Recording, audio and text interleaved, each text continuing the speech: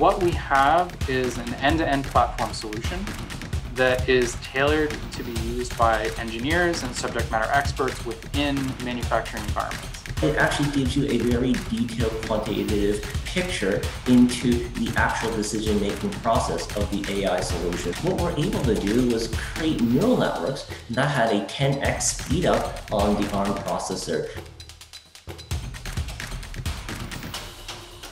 So the answer for this problem is Netspresso. So we build automatic AI model compression platform for any target data set for any target devices onto the target accuracy latency model size which uh, of which customer wants.